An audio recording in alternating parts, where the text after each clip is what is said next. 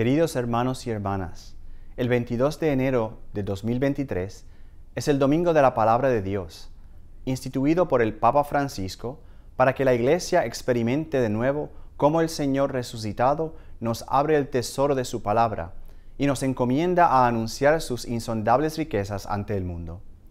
La Conferencia de Obispos Católicos de Estados Unidos los invitan a celebrar este día viendo la serie de seminarios dominicales, una oportunidad enriquecedora para que aprendan más sobre las Sagradas Escrituras, facilitada por algunos de los mejores expertos bíblicos católicos en los Estados Unidos.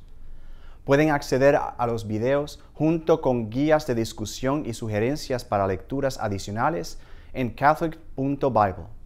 Ven y encuentra a nuestro Señor resucitado en la Sagrada Escritura.